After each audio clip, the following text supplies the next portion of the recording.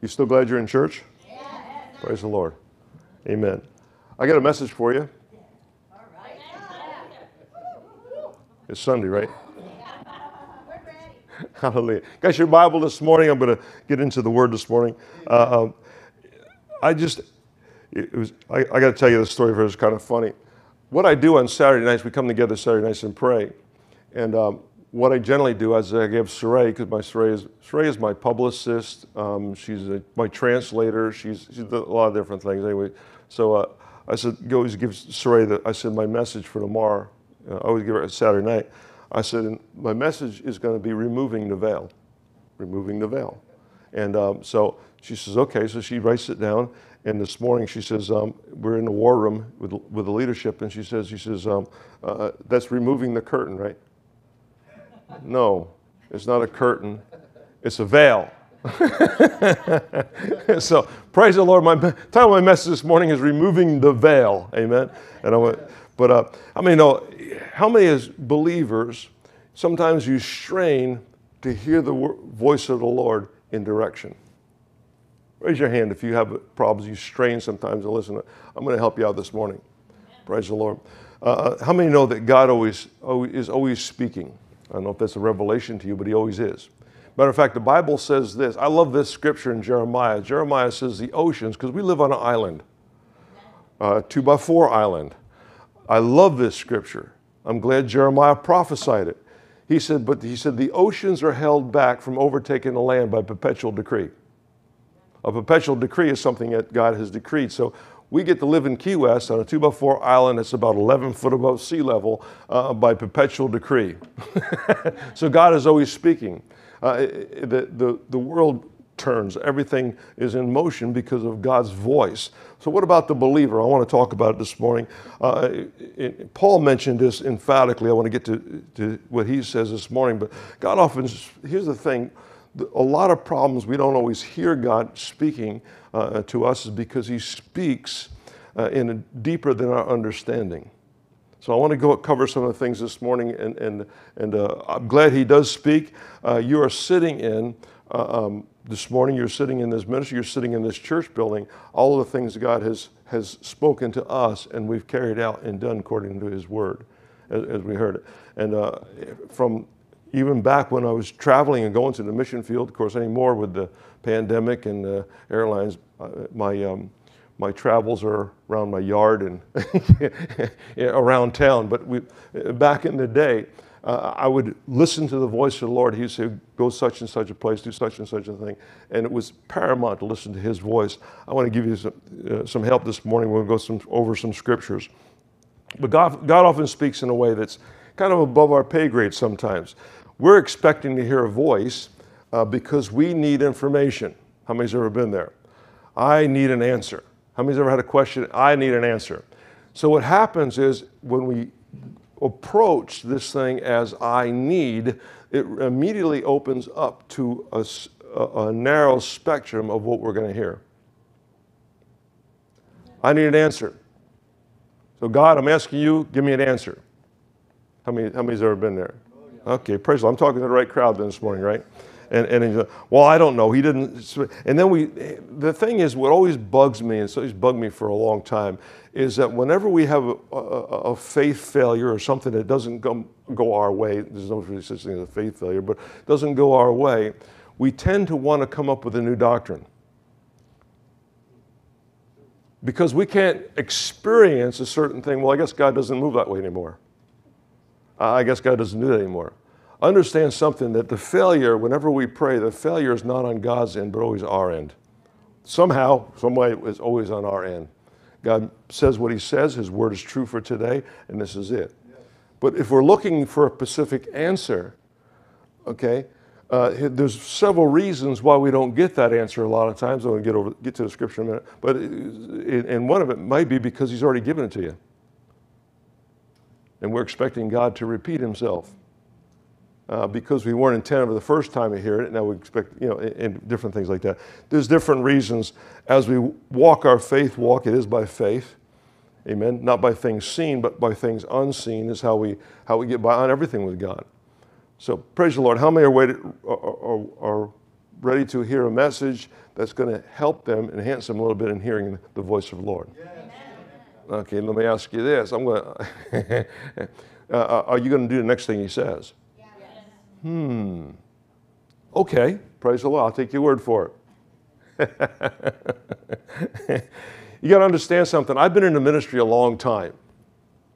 And a lot of my ministry is dealing with ministers, not so much anymore, but used to be dealing with ministers. When I went to, to the foreign field or the mission field, a lot of the, my, uh, uh a lot of my talking, different sharing with different things were for groups of ministers and talking to different ministers. And basically, what I found out is we are all on board with God if we've got a problem that we don't have an answer for. Okay? So we're focused on that particular problem. So the only thing that's going to satisfy that particular question is when we hear what we want to hear for an answer.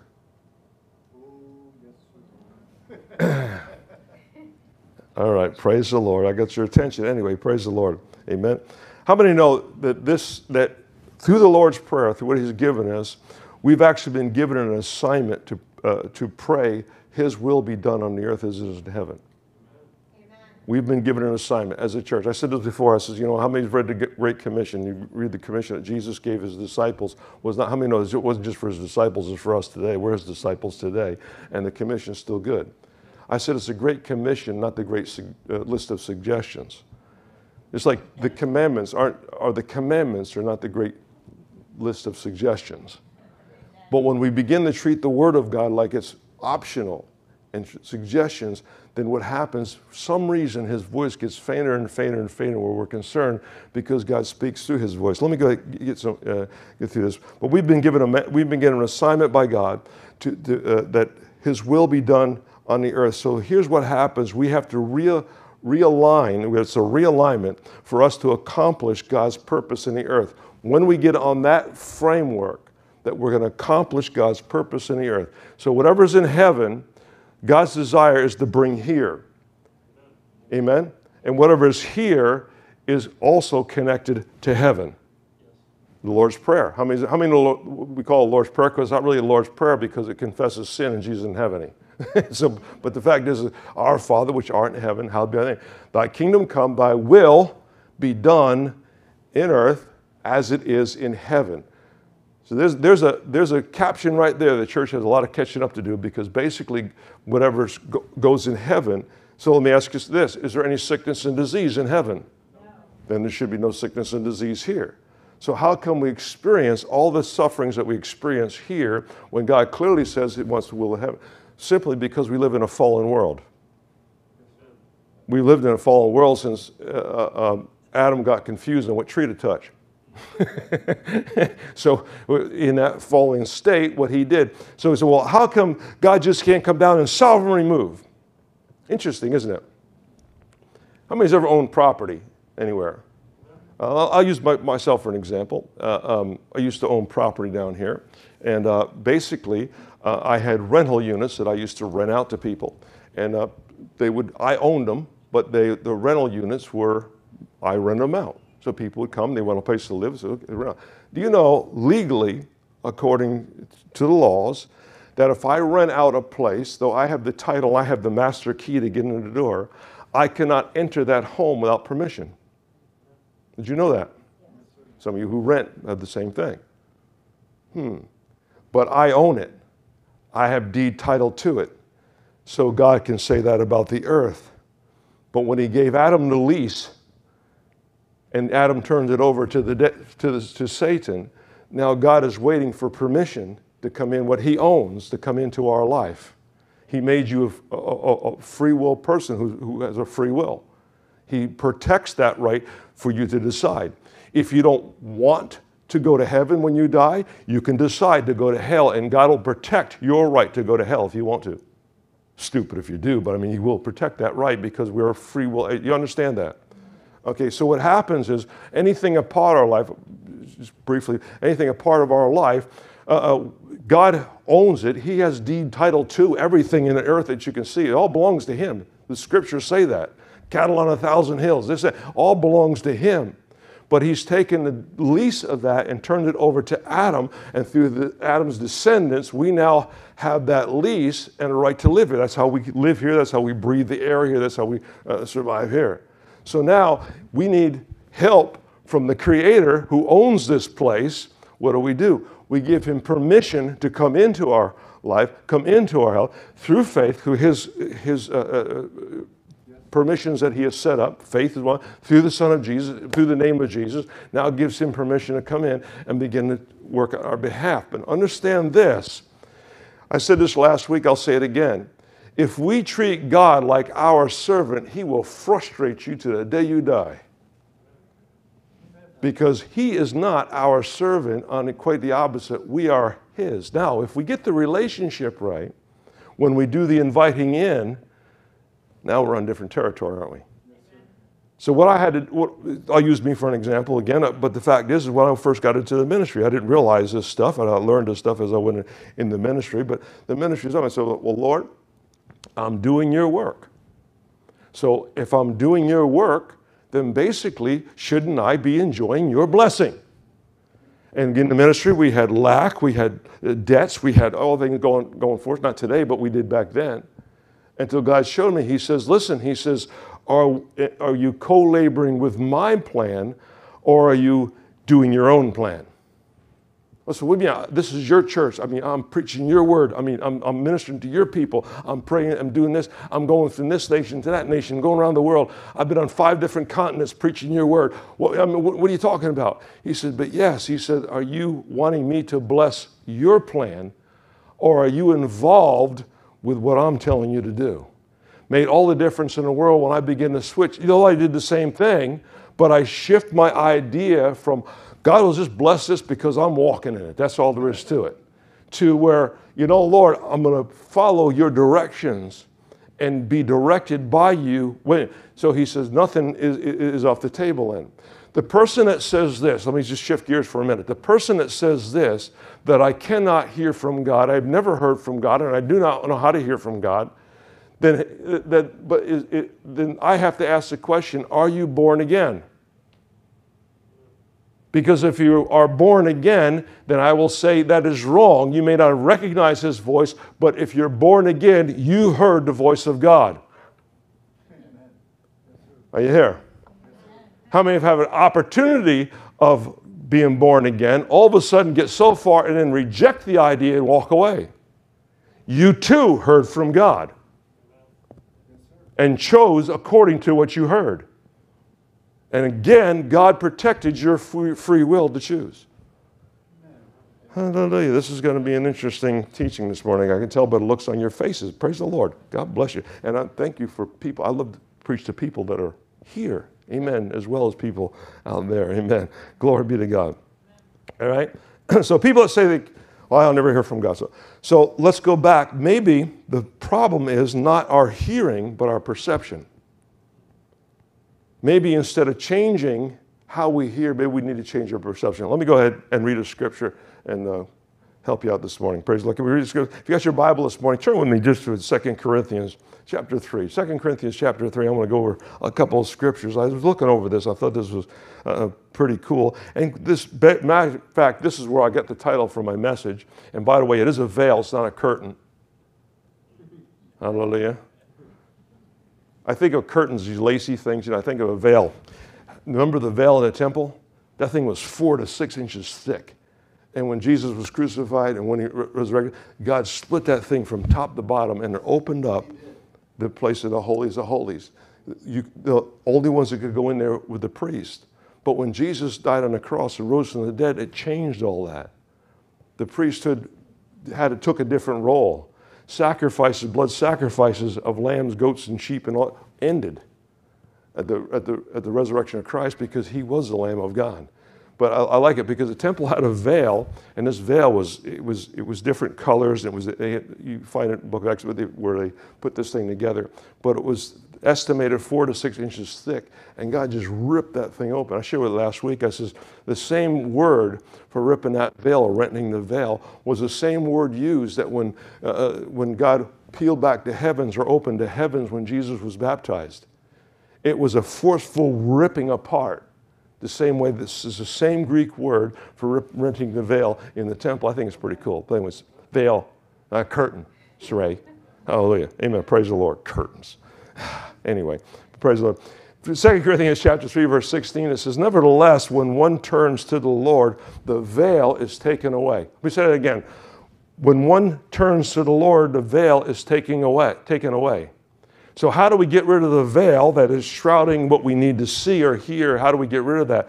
By turning to the Lord. This is an old phraseology. Well, I'm an old person, so I'll just use an old phrase. But old timers used to say this we need to lean in to listen to what God has to say. I like that. Lean into his presence, lean into what God has to say. Uh, if you're sitting in, in, in somebody's, and you're trying to eavesdrop on a conversation, of course, this is the church ever does that, right? Uh, uh, but you're sitting in a restaurant or something and somebody's talking real low and, and, and you picked up something that you want to hear. You kind of lean over, kind of see, and even cup your ear like this to kind of hear what they're saying. It's the same, it's the same thing with the Lord. We lean into what he has to say. When the veil is removed, this is what opens up. But Paul was saying, now, so where did Paul get this? Let me get, put it back in context for just a minute. Paul was talking to Jewish followers of Christ. And it says, when they picked up the book and they read Moses, a veil was placed over their heart. Now, there was nothing wrong with, with Moses, there's nothing wrong with the Torah, there's nothing wrong with the book of law. But the, Paul said, when you open this up, there's a veil that comes over your heart. What was he, what was he talking about? He's talking about what happens is we do this religiously because there was certain times of the day that they just did this out of habit. They, they, they opened it up. When we get into religious settings and religious habits, it actually, according to Paul's word, puts a veil over our hearts to where we cannot hear what he's saying. And, and the truth has been kept from us. So he says, so this is what he says. He said, nevertheless, when one turns to the Lord, well, I thought opening my Bible was turning to the Lord. No, no, no. We can do this habitually. We can just do this out of uh, I got a plan, and I can do, read this scripture on this day and read this scripture on that day, and that's all I can do. I can read those. How many's ever sat down with a, with a nothing wrong with that, by the way, but read the scripture and then closed the book and said, What did I just read? That's the veil. What, what, I mean, uh, I, I, like another phrase. He says, "What do we? What, what is, I'll get to this in a minute in Romans. But the fact is, what is it? What do we read here? Well, we read, and here's what the old timers to say too. We keep reading until we hear what God speaks. We keep reading until we hear God speak. I'll get that in a minute. Getting ahead of myself. Amen. But what Paul is saying, he's saying, you pick up the book of Moses as you do to the law, and you read, and a veil is placed over your heart. So you have no revelation of God. You cannot hear his voice audibly or any other way uh, uh, by your heart because that veil is placed. But he says, when you, nevertheless, when one turns to the Lord, the veil is removed. All right? Are you, are you ready this morning? Yes. Okay, we're just, we're just getting warmed up. I thought this was interesting, so I wrote it down in my notes. The very next verse, this is verse, this is 2 Corinthians 3:16. Now listen to this. The very next verse is probably going to be a little bit more familiar to you. And verse 17 says this Now the Lord is the Spirit, and where the Spirit of the Lord is, there is liberty. Are they putting it on the screen behind me? I didn't turn around. Okay, praise the Lord. Can you see that? All right. Can they see it on camera? Okay, that, that's okay. Praise the Lord. So, but the very next verse, Paul shifts gears. He's talking about, wait a minute, the veil is taken away. Now all of a sudden, now the Spirit Lord is where the Spirit Lord is liberty. Lo behold, I looked up that word liberty in the, in the Greek, and you know what it means?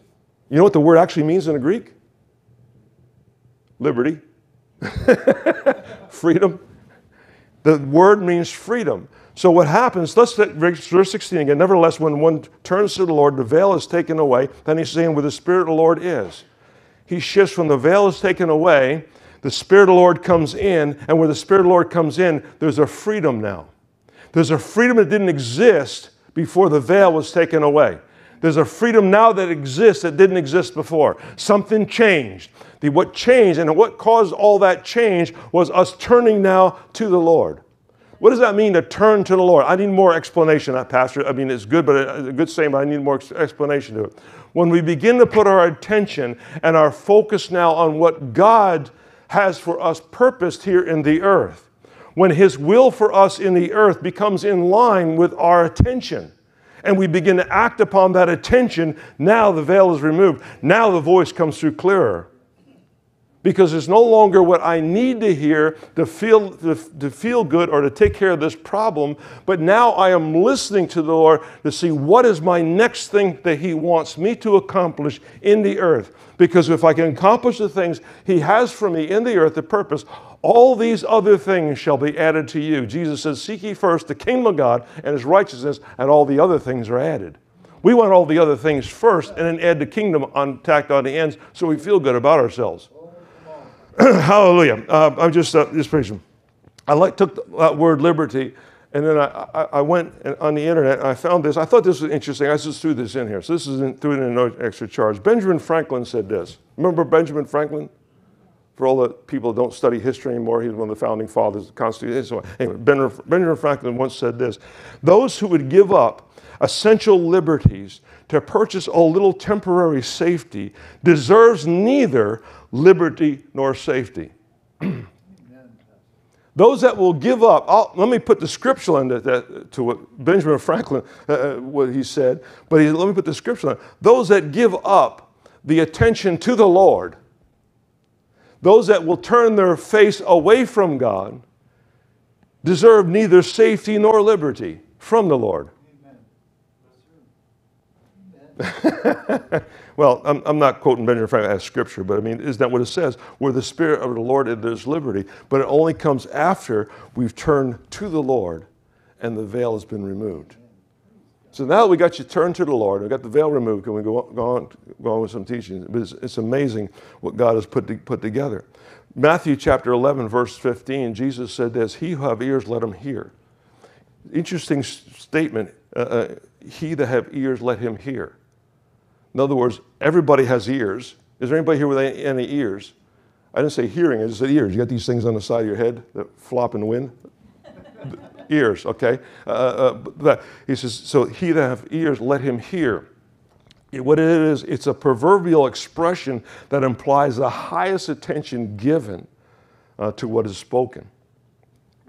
It's that leaning in. What were they saying? Did I hear my name mentioned? Are they talking about me? It's a leaning in. Praise the Lord. Are we okay? Amen. Seven times in the book of Revelation, Jesus said that he that hath ear, let him hear what the Spirit of the Lord is saying to the churches. To the churches. Now, when he says churches, he's not talking about the building, he's not talking about even an assembly, he's talking about members thereof. Jesus spoke a lot about corporate uh, blessings, corporate anointings, opposed to individualism. Individualism is something that, that, that, that uh, uh people have come up with uh, through the scripture. But if you study the scriptures more often, you'll find more corporate than you will individualism.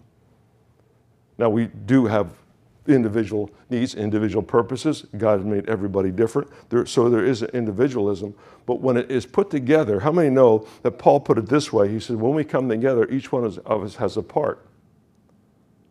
So when we stay, and Paul also called the, the, the church as the body of Christ. Jesus Christ, I'll say this again, I've said this a thousand times, but Jesus Christ died for his church. Amen.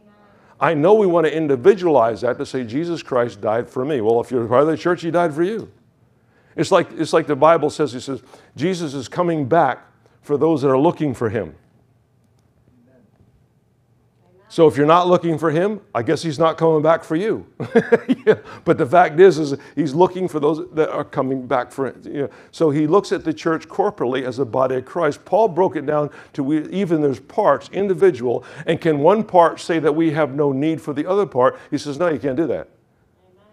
We need all the parts of the body of Christ. Understand something. We come together as a church ministry. You're not coming here to hear lectures. I'm not a college professor. We're not doing lectures. What we're doing is grabbing a message that's going to carry us through this season or this time period together. So when you come together in the church, this is, this is what's important. There's agreement. If you understand God's uh, principles to prayer, where two of you agree on touching anything, it'll be done to them. Not you, them. It'll be done unto them. So basically, what Jesus is saying is when we come together in agreement, there is more power than individual. So, can you see the benefit of the enemy or the devil to keep us separate and isolated? Can you see the benefit now? Let's just go ahead and stay isolated, keep them isolated because they're weaker if we can keep them apart. But when they get together and give them an, an agreement, man, nothing that they do can, can, can stop. It'll keep on going. So this is this is the thing. So how many know when we come together as a church, we're a church body. We're more, we're more powerful with the power of God together than we are individually. It's the devil's plan to keep you separate. Because then he can have you for lunch. Are you here? So no, it can't be, Pastor, I heard scripture. Devil used scripture on Jesus. The three temptations he came with Jesus was all about scripture. Oh, if you be the Son of God, turn these rocks into loaves of bread. Jesus said, Get you behind me, man, does not live by bread alone.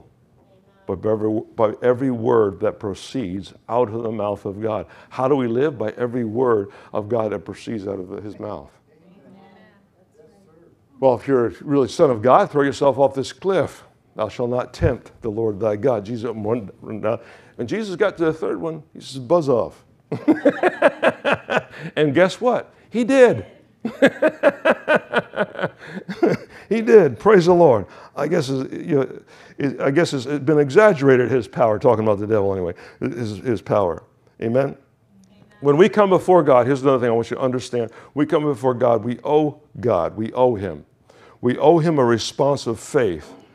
It is always, it's always the attempt of the enemy to always lead us in unto, uh, to lead us in unbelief because unbelief stands in defiance against his very nature of faithfulness. So understand something, because this is we, what we're doing now is let's plan on aligning ourselves so we can hear. How many want to hear the Holy Spirit better? Amen. Then let's let's align ourselves to that purpose and of listening and hearing. So understand something. When we stand eh, eh, when we stand in unbelief, when God says to come by faith, and we stand in unbelief, then we stand and the enemy can lead us into that defiance, and it's a defiance against what God has called us to do. And when we stand in that defiance, then basically we begin to lose track of his voice and be able to hear, give the ability to hear. Romans 10 17, I'm going to go through there, and I got some stories I'm going to share you. You okay this morning? Uh, what, I'm, what I have to, I got to lay some groundwork. Everybody comes from different backgrounds. I'm going to lay some groundwork so you understand what we're talking about when we're talking about hearing the voice of the Lord. I know probably 90% in this room, just guessing, I didn't take a survey, but 90% you're waiting for a word. Give me a word. Give me a word. I, I, I you know, I, have been in conferences, prophetic conferences before. I've spoke at different things before, but this is what I've always noticed in the conference when somebody uh, uh, wants a prophetic word. Give me, a, give me a prophetic word. Nothing wrong with that, by the way. Uh, uh, I believe in a prophetic word, and we give a prophetic word here that helps us when we can get around a team that can give us a prophetic word and give us prophetic guidance. But here's a couple things, couple things I noticed uh, uh, that is a problem is basically we think it's going to come to pass tomorrow or exactly when we need it. Or basically, we don't like the word at all. I cannot see that anything in that at all, so we basically dismiss it. Both of those scenarios are not bringing the purposes of God, or is it us uh, uh, re- embracing that by faith. I mean, what I, what I did and was encouraged to do is whenever somebody uh, gave me a word uh, uh over my life or prophesied, you, if you will, gift, with the gift of prophecy, uh, that was recorded, and I took that record and I wrote it down. Years later, I would take out and said, you know what I found out? I found out sometimes it was years before those words ever came to pass. I mean, I, I, remember one time it was, it was years ago. Uh, uh God is going to bring you uh, in, in front of, uh, uh, of leaders of countries, and God was going to bring you here. You got to be kidding me. I'm trying to build a little church here, you know, in my mindset. And it was, I think it was 2003, somewhere around there. I was in, in Ghana, West Africa, and brought before the king of Kumasi who's a king of the Ashanti tribe, you understand the African culture, uh, Ashanti tribe, and he, uh, and we were there, uh, Bill and I were there, sitting in the, in the room, uh, waiting to see this leader of the country. Wait a minute, that's, that's, that's a democracy. You think it is. they have a president, and it's in Accra, Ghana, which is the capital. You think he's the president. what rules in the West African community was the largest and the most powerful tribe. Still, even today, uh, that is the case. And the king of Kumasi, because Kumasi was the was uh, with the town where he ruled, with the, was the center of the Ashanti. Basically, he was the one that was meeting with the president of the Ghana, and they were coming up with country policies. I found the same thing in, in Ivory Coast. But the, this, this, anyway, so, so the prophecy that came was not what I was expecting.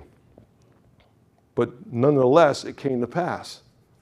I found myself sitting in the palace in Kumasi. and I thought, Lord, what am I doing here? He said, remember that word. Amen. So, so there is, there is a, a, ground for that. But what about the everyday average Christian, what I want to talk about, uh, uh, that we depend on the voice of the Lord for the next business decision, for the next thing on how to raise our kids, for the next wisdom that we need uh, uh in, in that arena? Okay, God has an input for that also. Amen? Praise the Lord. Are we, are we getting it so far? All right. Amen. Uh, I was reading Romans chapter 10, verse 17, and I had ideas of like something. Let me go ahead and read the scripture. Romans chapter 10. You turn your Bible if you want to turn your Bible there. I want, I want you to see this because maybe you had some of the same ideas in, in, uh, in your mind. Romans chapter 10, verse 17. Say amen when you get there. See, I don't hear, we don't hear pages turn anymore. You got anyway, praise the Lord. It says this so faith comes by hearing, and hearing by the word of God. How many know that scripture? I'll read, I'll read it again. So faith comes by hearing, and hearing by the word of God. How many have been taught that faith comes by hearing the word of God? You have. How many don't have a clue what that means? Okay, praise the Lord. Faith comes by hearing, by hearing by the word of God. But this is what has been a common misconception, but the fact is, that's not what it says. Here's what it says it says, then faith comes by hearing, comma. Faith comes by hearing, comma. Hearing by the Word of God. Faith comes by hearing. Now we're talking about what's building faith. So where's faith come from? By hearing, hearing by the Word of God. So, what it was saying is, in other words, we read the scriptures, and I do this, by the way, I read the scriptures, but if I could get more faith by just having preaching or scriptures to me, I would go to bed uh, with, with, uh, with uh, somebody just reading the Bible, reading the Bible. So but basically, subliminal, I just pick that stuff up in my sleep, and I, I would wake up the next morning, I have the faith of Jesus. But that's not what it says. No, it says, it, says basically, it's, it's saying faith comes by hearing, not by reading. Faith comes by hearing. Now, nothing wrong with reading, but what he's saying in essence, he says faith comes by hearing. In other words, we're going to hear the word of God through what he's already written down.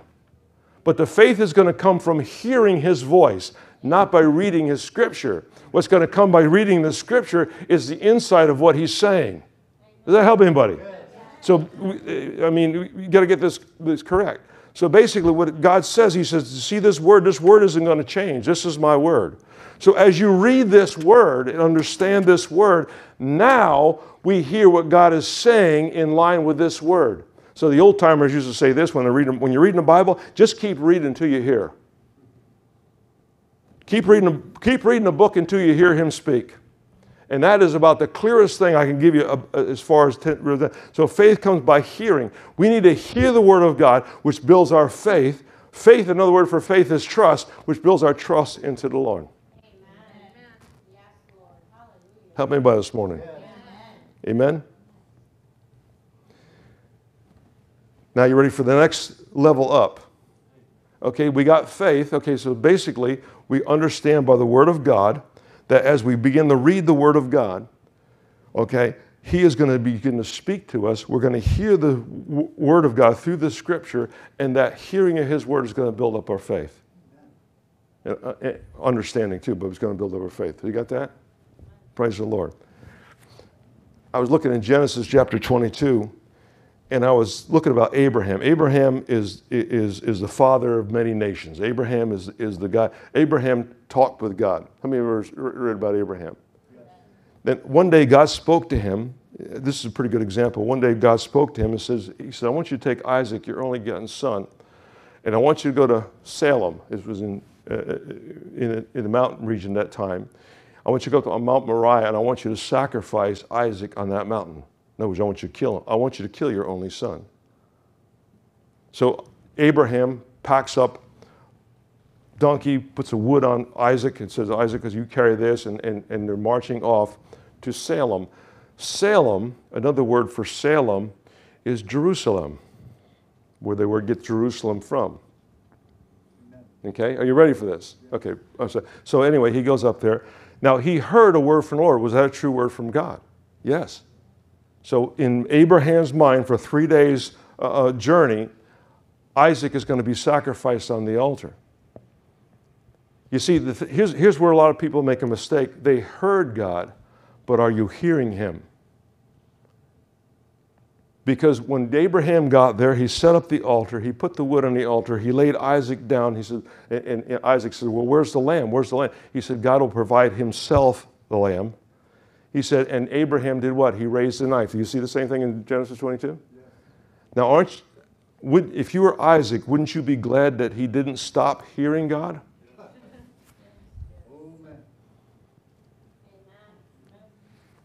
Now, he had a word from the Lord. This is what God said. Matter of fact, it says in, in, in, in, the New Testament, it says that Abraham actually had the faith that if he killed Isaac, that he had the faith in God that God would raise him from the dead. So in Abraham's mind, Abraham was saying, okay, I'm, I'm going to kill a boy, but you're going to raise him back up because this is the one that's going to lead the nations. This, this is his, out of his seed is going to come the nations that you promised me. But when he raised the knife, aren't you glad he, instead of hearing God, that he kept on hearing? Because you had a word of the Lord, are we missing the change where God begins to change things? So it's, it's imperative not just to hear what God is saying, but also, uh, I've heard what He said, but also hearing what He says. How many's ever come to church and, and, and heard something different in the scripture that they're familiar with? And then the next week, the same thing happened. Keep on hearing. Keep on hearing, not just heard. Oh, y'all been to church before, right? You've been to church once, you've been to church, you know, I mean, that, that's it. You've been to church once, you've been to church a thousand times. That's that veil. Amen. The lift, removing of the veil brings us something different. Isaac was glad because Abraham kept on listening because the God says, stop. Mount Moriah, are you ready for this? Mount Moriah today, if you go to Jerusalem or go in Jerusalem, Salem, the mount, uh, Jerusalem's on a mountain. You don't know if you know that. But that was uh, Salem, that was in Abraham's time, where he built the altar and raised the knife to kill Isaac, is where the Temple Mount sits today. Mount Moriah is right there on the Temple Mount. Shortly, short distance from there, Jesus Christ was crucified. God's only Son was sacrificed on that Mount Moriah. So, what he was saying, covenant, he said, if you're willing to sacrifice your son, I'll make you the father of many nations. But so, where he stopped him from sacrificing Isaac, because there wasn't going to be a resurrection. The next resurrection that was going to take place there was going to be the Son of God. He said, Because you didn't hold back your son, now I will have my son crucified, dead, and raised from the dead in that very same place. And from that time, Abraham had covenant with God life for life. He said, because you're not, you're, you're not willing to hold back anything of which I ask, he said, then I will not hold back from what the world needs. And it was an exchange. Aren't you glad you came to church today? Just that little bit of information right there. Praise the Lord. Mount Moriah. Look, you, you studied out. It was Salem, Jerusalem. Who was captured? Who, who was held up, penned up in Jerusalem? Was the Jebusites. Remember the one tribe, the one tribe that, that Joshua couldn't seem to overcome.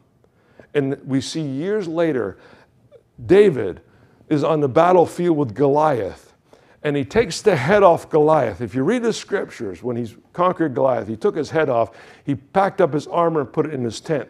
David didn't have a tent. The tent was referring to the tabernacle. He gave that victory as a gift to God to the tabernacle, including Goliath's sword. And he took the head, and the Bible says clearly he stood outside the walls of Jerusalem with the head of Goliath.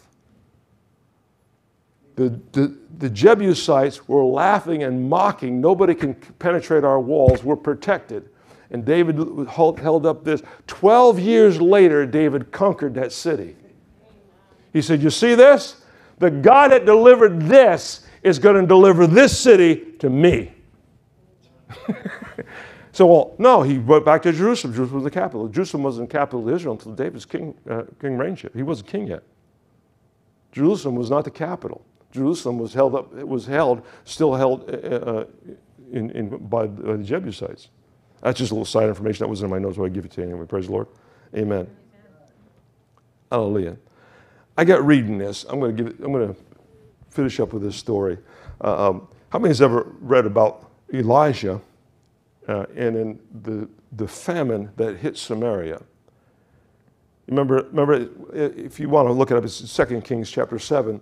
I was reading this, and, and, and God showed me something in this scripture. But it, there was four leprous men that sat outside the city. Let me get, not get ahead of myself. The fact is, is there was a famine that was set up. The enemy had penned them in, and they're behind walls, closed walls. So basically, the Syrians were the enemies that came in to, to go ahead and, and, um, and, and, and stop the flow of any kind of resources the famine got so bad that they just sat outside the city. They camped outside the city and waited and just waited for them to starve to death. Is what they're waiting for, and they're going to conquer the city without even any, any fuss at all. They're sitting outside, so, so, the, uh, so, the, so the conditions in Samaria got so bad that the, some of the uh, uh, Israelites were even resorting to cannibalism to survive. This is how bad it was. Elijah was a prophet in that day, and, he, and, and these four leprous men, now leprous means they had a skin disease called leprosy. Basically, they weren't allowed in the city, they were social uh, outcasts. And, and, and they're sitting outside. Then four men get talking in this scripture. It says, Now there were four leopard men at the entrance of the gate, and they said one to another, Why are we sitting here until we die? Now, they mouth three ways to die, but only one way to live. now, would you call that hopeless? if you're thinking on three ways to die and only one way to live, wouldn't you call that hopeless? This is a unique story. This is really cool. Anyway, he said, Why do we sit here? If we enter the city, the famine in the city, we shall die. If we sit here, we're going to die. Uh, now, therefore, let us uh, surrender to the army of the Syrians. If they keep us alive, we live. If they don't, they kill us, we die. Now, I don't know about you, what kind of week you had this week. But when literally you can see nothing in the line of living or hope, but only in to die, that's pretty, that's pretty bleak. So, what their solution was well, instead of just sitting here waiting to die, why don't we surrender to the enemy? All of a sudden, they get this idea. This famine went on for, for, quite a while. How come all of a sudden they get the idea, well, we're just going to go ahead, let's just go ahead and surrender to the enemy? Now, the enemy wasn't looking for them. They weren't go, about to go into the city. The king wasn't going to open and let them in. So they're just sitting there. So, so why not just go on about life? The enemy doesn't seem to care about you. Uh, uh, the king's not going to care about you. Why don't you just go someplace else or, or, or what? So, so all of a sudden, sitting there with this skin disease, which separated them from society, their families or whatever. That's what they did back then. They isolated them, uh, kind of like the coronavirus. Praise the Lord. And, and, and, so, what happened? What changed circumstances around? Because we know what happened. We happened, so happened that as they were marching to the Syrian army, as they were marching down the road, God did something to the ears of the enemy that they couldn't even hear themselves. And all of a sudden, as they're marching, the, what God did is every footstep of that leprous man, four of them, marching down, he turned and amplified it and made the enemy hear chariots rolling down the highway, coming towards them. And right away, one of the people, one guy say, that said, he says, My God, he said, the, the Israelites had hired the Hittites and the Egyptians to come and kill us. those are two feared armies, and they were mercenaries. They would, they would, they would uh, uh, kill for hire. so he said, and, and so the sound of them, so basically they took off and they ran and left behind all the food, all the riches that they'd been plundering through all the lands, and they, they, they kept it there. So here's these four little leprous men. They don't know what's going on. They still got a clue. They walk up there, and here's all this food laying around. They were unattended to what Elijah had said. So they didn't have that in, in, in their. But what happened, that happened because one man heard what the Spirit of the Lord had said, then he confessed it out of his mouth and told the king what was about to happen. So to understand that, you have to go back to King, uh, 2 Kings 7 1 through 2, and it says this Then Elijah said, Hear the word of the Lord. Now, this happened before they started marching. I, am backing up on the story. He says, he says uh, Hear now the word of the Lord. Thus saith the Lord, tomorrow at this time a measure of flour will be sold for a shekel, and two measures of barley will be sold for a shekel. In other words, what he did in bringing the prophecy of the Lord forth, he was saying, food's going to be cheaper tomorrow. In a famine, uh, uh it's very expensive and non existent because they're starving. But he said, tomorrow it's going to be changed. The captain, it says in verse 2, the captain whose hand the king leaned on, took his advice from, uh, sound familiar, uh, uh, said to me, he says, Sure, when God opens up the windows of heaven. In other words, mocking the prophet.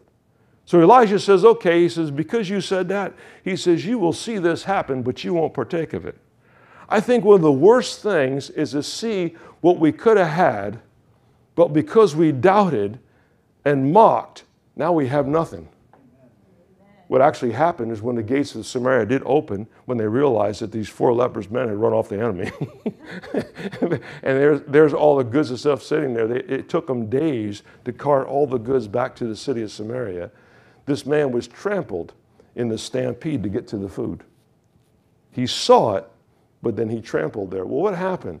Elijah, the day before these guys moved, he had prophesied the word of the Lord didn't give all the details, but he says, Tomorrow this is going to be okay. Why? He heard insight that God had that he didn't even under, understand completely, but he had the insight. So, what's the point, Pastor?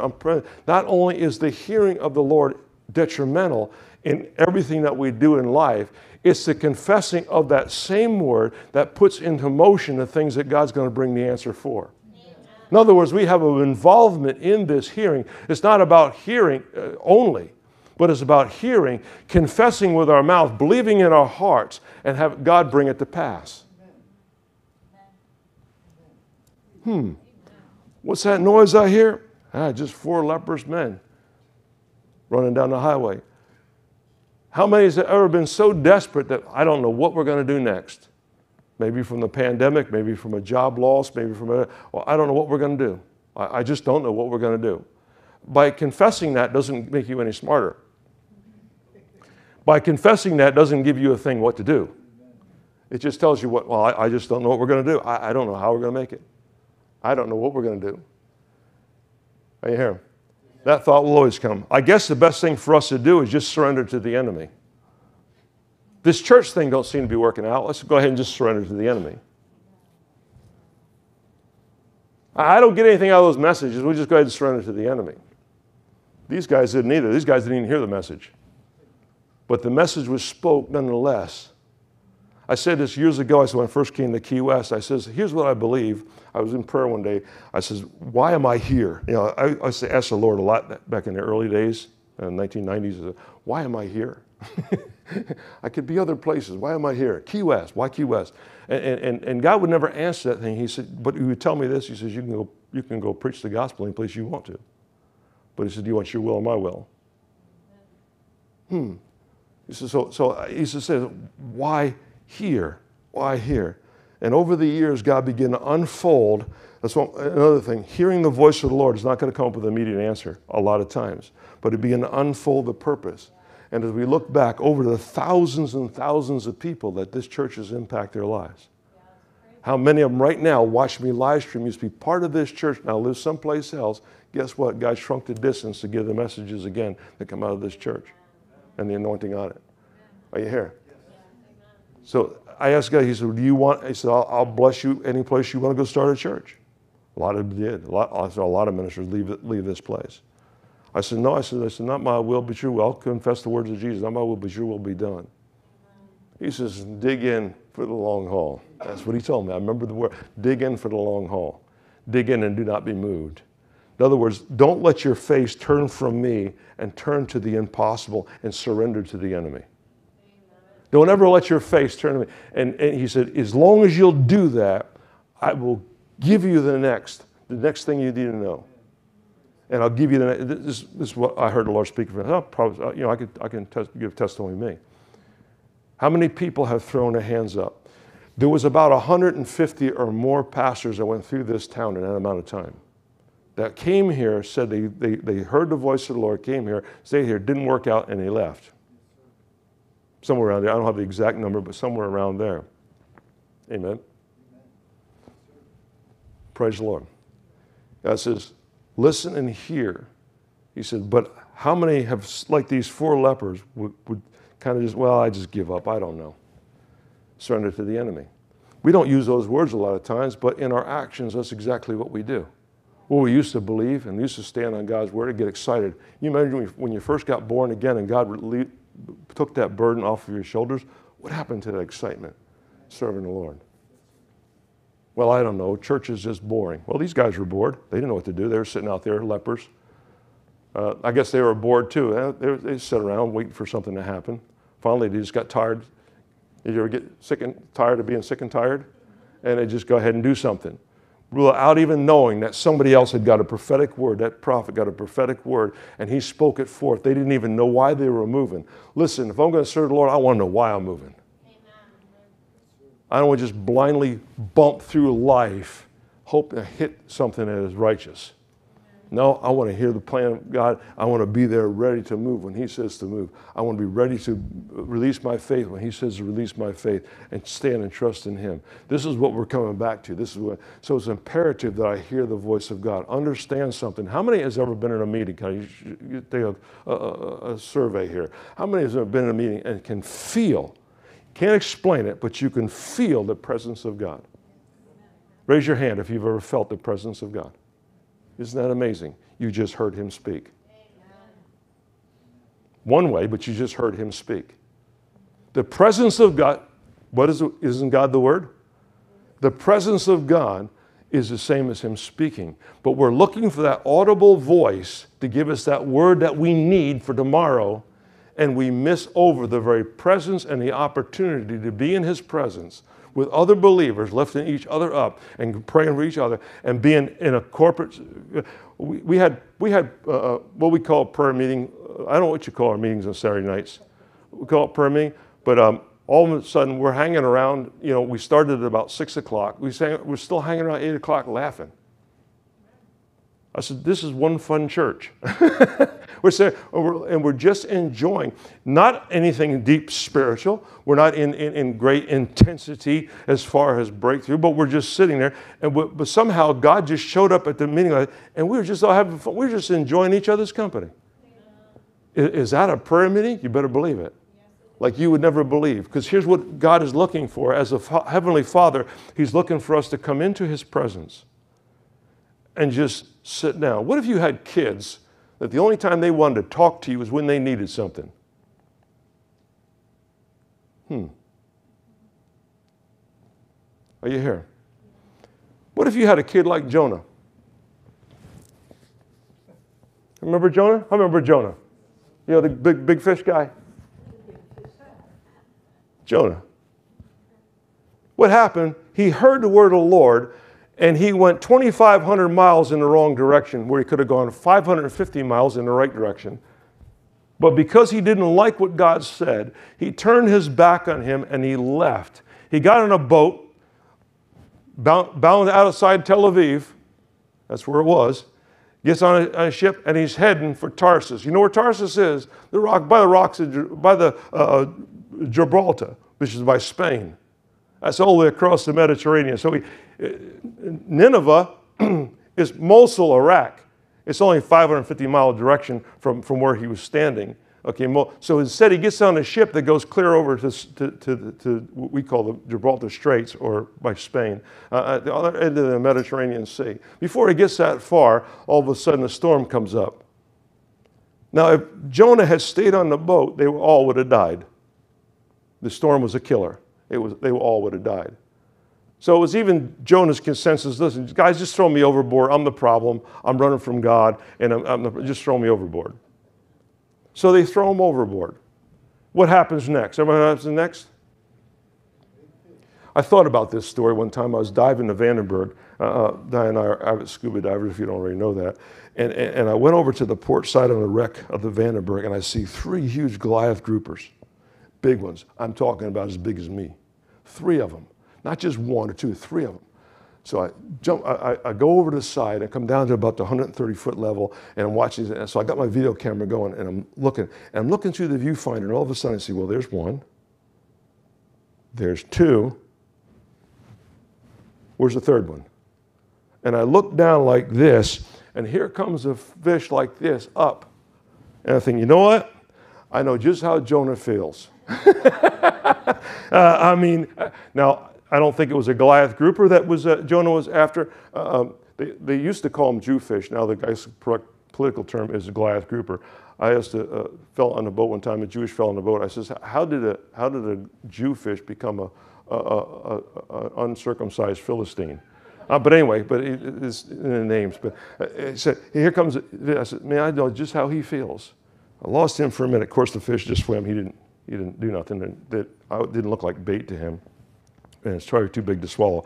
But I thought about that. But God sent this great fish, and he swallows up Jonah. I think that's the end. How many has ever been in a circumstance or situation that's the end? Do you know what that fish was? That was to save his life, even in his disobedience. God had mercy to save his life. Now, I don't, I don't know if you ever want to be in the side of a whale. Uh, I listen to marine biologists say, well, it, you know, the stomach acids eat you up. But the Bible does say that God prepared this big fish, if it's a whale, whatever it is. I do know there's a thing called a fin whale. It's in the Mediterranean. It has two stomachs. So a lot of people possibly, well, possibly he could be in one stomach. Well, the food's digesting in the other stomach, you know, and by the time it gets to, he just, you know, barfs them up on the beach. Regardless, anybody here want to get inside of a fish? For three days? Huh? Hmm. The darkest place that Jonah ever found himself in, the most challenging place ever found himself in, was to save his life. God provided the fish to save his life. I don't know about you, but I just rather hear God the first time and just do what he says. Has God got a fish? That's what we usually put in the message. Has God got a fish for you? now, I spend a lot of time in the ocean and under the ocean, most of the time under the ocean. Uh, I, I, don't want a guy to have a fish for me. I want to hear him the, the first time. I want to get his voice clear to the first time. One more scripture. I'm going to end with this scripture. Second Corinthians, write this down if you want to. Second Corinthians chapter 1, verse 2, uh, uh verse 20, uh, out of the NIV. It says, No matter how many promises God has made, they are yes in Christ, and so through him, the Amen is spoken by us to the glory of God.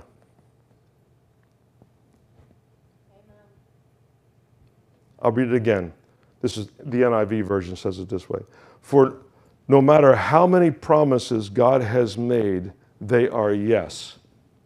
How many can think of a promise of God? Yes. It, the, the answer is yes. That's what he's saying. No matter how many promises of God, he said, are yes in Christ. But he said this, he said, and so through him, the amen is spoken by us. Now here's what you think. Amen is something we put at the end of a prayer. When we're done with a prayer, it means amen. That's not what it means. I know we do that. I know we use it for the end of a sentence, but that's not what, it's not a period at the end of a sentence. The word amen means, yes, I agree to the point where I will carry it out. That's what it means. That's what the word amen means. It means I agree, and my agreement means I will carry out exactly what was spoken. So here the promises in Christ are yes in Christ. So all the promises God yes, but the amen remains with us. So it's so be it, are we going to carry it out or not? Like God says, I give you the promise, but are you saying amen? If you're saying amen, message, that's right, I'm going to do everything I do to carry out uh, my end of that promise. But as far as God's concerned, He's saying, yes, the promises are there. Amen? Amen? Praise the Lord. Now I'll say it again. Revelation chapter 2, 17 says, He who has ear, let him hear what the Spirit of the Lord is saying to the churches. Not necessarily to the individual, but to the churches. This is a church. How many have ears to hear this morning what the Spirit of the Lord has said to this church? Amen. Amen. How many can see now where it's imperative that we hear, not only hear, but act upon what He said? Praise the Lord. How many got something on the message this morning? How many got something new to take away from out of this message this morning? Praise the Lord. Amen. How many are going to How many are going to listen to the Lord intently? Praise the Lord. Understand how God works. Uh, I've gone through different courses in schools and different things, especially going through uh, Christian International uh, School of the Holy Spirit and so on and so forth. And they would teach us different ways. Uh, the Bible says in Hebrews, it says, Hebrew 10, it says, He who has his senses exercised to discern both good and evil. In other words, dis- there's a discernment that takes place. All these voices and all these things, all these ideas and all these problems in the world are sitting there waiting for the, discernment. Which is God, which isn't God, so on and so forth. How do we find that out? Well, basically, simply, God will not do anything against His word or aside from His word. Right? So we understand what His will by reading His word. Okay, we meditate it, but then we hear how does that carry out in our life? Jesus said this, he said, John 10 10, one of my favorite scriptures, he said, The thief cometh but to kill, steal, and destroy, but I said, I come and give you life and life more abundant. But the life that we're living now is too far from abundance. Would the abundant life that Jesus said, is that a promise? So guess what? When we say, is that a promise? I only got one amen in this church. Amen. Is that a promise? Amen. Is abundant life a promise?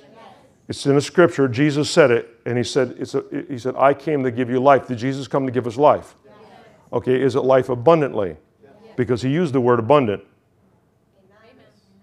Okay, I'm going to say it this way abundant life is bigger than what you think it is. And I'll guarantee, almost guarantee it's probably bigger than what you're living and what I'm living, for that matter. Praise the Lord. Not to talk down, but amen. So, what is the promise? The Reading from, from uh, verse, 2 Corinthians, what's the promise? All it's missing is the amen. Once we make the amen and the agreement, now what happens is God begins to give us input on carrying that out.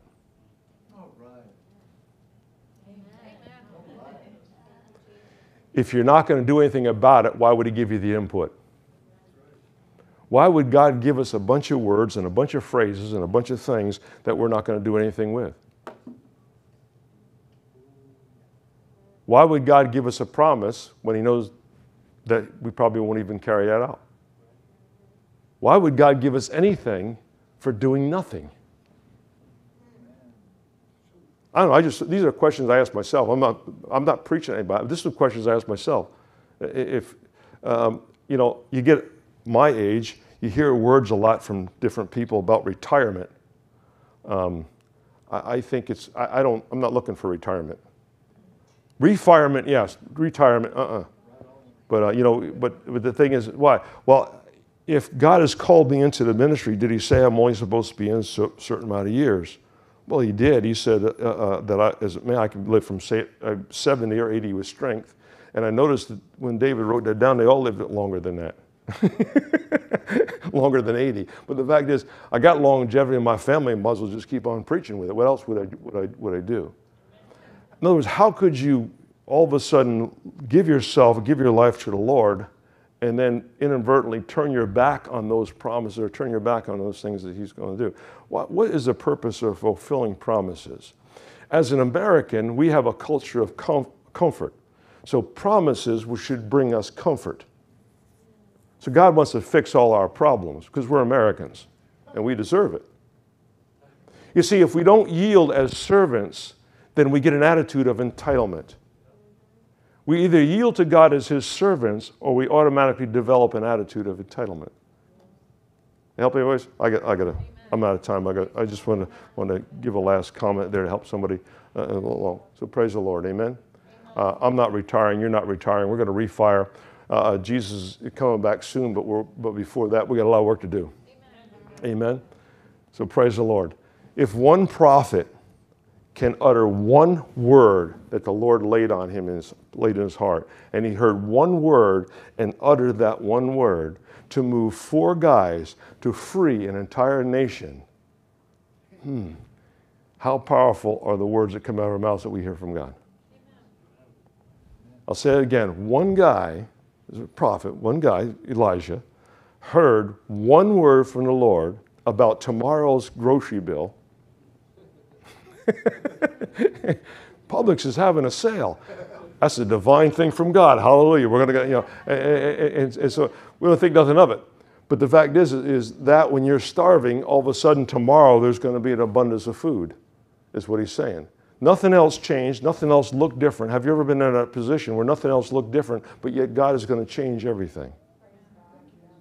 And he used four leprous men that didn't even know what they were doing. Is there somebody out there that they don't even know what they're doing or why they're doing it, but they're just doing it for your benefit? Because God gave you a word and you confess it out, and now God is moving things to you. Praise the Lord. I'm going to end this morning with prayer. I have my mask if somebody wants me to pray for them. We'll, like we normally do every Sunday, we'll open, open the altar for prayer. Uh, um, if you want a prayer of agreement of anything, whatever the prayer need, you, you can come down. Uh, if you wear a mask, we all wear my mask to, so you feel better. And uh, if not, then I'll just pray for you this morning as we pray and believe God. We've done this now for a while. This is where we get to pray, and this is where we're seeing God's hand work and we're seeing miracles happen. How many got something out of the Word this morning? Praise the Lord. Now, I often say that at the, at the end of the service, but what I want to also say, how many got something out of the praise and worship this morning? How many got something when they walked through the door? And something lifted off them as they walked through the threshold. We've had this, I've had testimonies of that, by the way. Okay, walking through the door and something lift. How many all of a sudden now listen to this word have gotten a new enlightenment? Hmm. All these things are positive, isn't it? Aren't you glad you went to church? Yes. I did more for you this morning than your vitamin tablets did. well, I didn't. Jesus did. Amen. Praise the Lord. Let's stand at our feet. We'll close in prayer, and then anybody wants to come down, I'll we'll come down. I'll pray, lay hands on you once we're off camera. Praise the Lord. Uh, amen. Father, I thank you this morning for your word. And Lord, though we went kind of in depth in some things, I pray, Lord, that something was said this morning that somebody can grab a hold of and change their life. Father, we pray in the name of Jesus. I pray for everybody here this morning. Now, l- let me ask you, I'm going to s- say this. Is there anybody here this morning that has never made Jesus Lord of their life. If you do just slip up a hand, say, I don't want to leave the building until, until Pastor prays and I want, I want the assurance of salvation. Okay, so you're all, you're all in the boat. Okay, praise the Lord. Now, how many uh, uh, of all, all you that are in the boat, how many want to hear better from God? Okay. This so be it. Father, in the name of Jesus, we give you praise. We thank you for blessings, Lord, in Jesus' mighty name. And we thank you, Father God, for this time we had together. But Lord, let your presence be known like never before to your people. In Jesus' name, we give you the praise and honor. And everybody said, Amen. God bless you. Praise the Lord. Hallelujah.